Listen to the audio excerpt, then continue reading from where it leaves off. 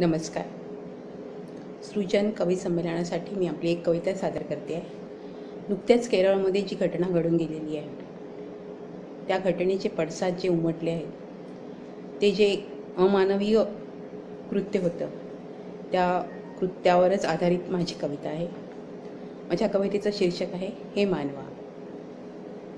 हे मानवा केवढे हे कौर्य मानवा. केवढे हे कौर्य मानवा विसरलास तू मानवता. विसरलास तू मानवता. नाही स्मरली तुझं भूतदया. नाही स्मरली तुझं भूतदया. का थिजल्या तुझ्या संवेदना? का थिजल्या तुझ्या संवेदना? कहर केला क्रूरतेचा.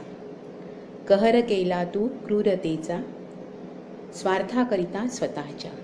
स्वार्थाकरिता स्वतःच्या. जीव घेतला मातृत्वाचा. जीव घेतला मातृत्वाचा घास देऊनी अन्नाचा. घास देऊनी अन्नाचा. कसा रे इतका निर्दयी झालास? कसा रे इतका निर्दयी झालास? स्वतःला बुद्धिमान समजतोस? स्वतःला बुद्धिमान समजतोस? अहंकार तुझं असे भारी. अहंकार तुझं असे भारी. उठला तू निष्पाप जीवावरी. उठला तू निष्पाप जीवावरी. पापकर्म तुझे हे कुठे फेडशील? पापकर्म तुझे हे कुठे फेडशील? नियती घेईल वचपा. नियती घेईल वचपा तेव्हा काय करशील? तेव्हा काय करशील?